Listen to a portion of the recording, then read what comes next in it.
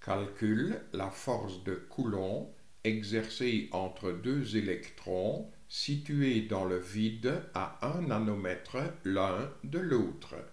Écrivons d'abord les données. Ces deux charges Q1 et Q2 valent toutes les deux moins 1,6 fois 10 exposant moins 19 coulombs puisqu'il s'agit d'électrons. La distance entre les deux charges, petit r, vaut 1 nanomètre, c'est-à-dire 10 exposant moins 9 mètres. Ce que nous cherchons, c'est l'intensité de ces deux forces de répulsion, intensité que nous exprimons en newton.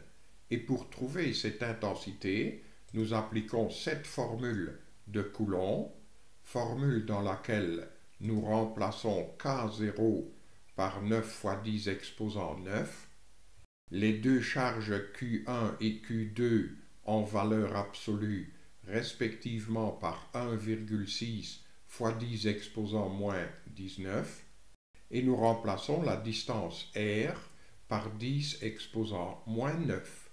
Ainsi nous obtenons 9 fois 16 fois 16 fois 10 exposant 9.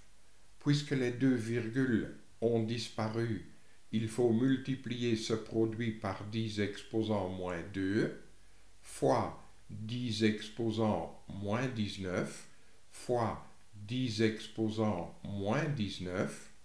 Au dénominateur, nous avons 10 exposant moins 18. Nous faisons passer cette puissance de 10 au numérateur où elle devient 10 exposant 18. C'est ainsi que nous trouvons 2304 fois 10 exposant moins 13 et écrit sous forme scientifique, nous obtenons comme intensité de la force F 2,304 fois 10 exposant moins 10 newtons.